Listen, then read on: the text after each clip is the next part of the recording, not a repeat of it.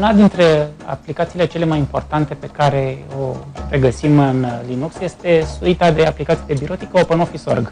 OpenOffice nu este o aplicație specifică Linux, rulând pe principalele uh, platforme. Are versiuni pentru uh, Microsoft uh, Windows și pentru uh, uh Mac OS X.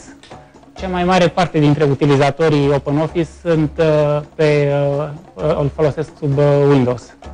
Ca și uh, ordin de mărime, în uh, primăvara acestui an s-au înregistrat un total de 50.000 de downloaduri ale suitei. Este folosită pentru uz personal în uh, corporații și în administrație publică.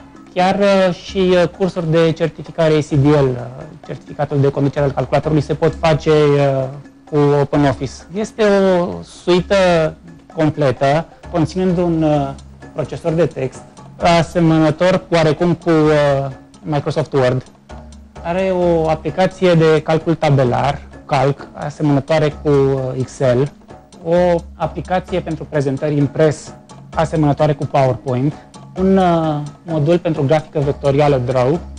Și o aplicație pentru baze de date, Base, oarecum asemănătoare cu Microsoft Access. Interfața e familiară, este asemănătoare cu interfața clasică a Microsoft, cea de dinainte de Office 2007.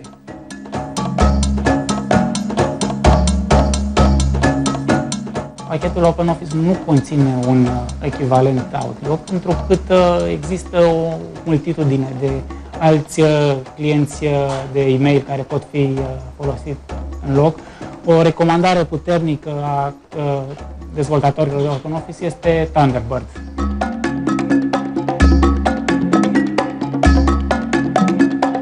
Uneltele sunt cele obișnuite din orice aplicație de grafică, unelte de selecție, de uh, modificare a imaginii.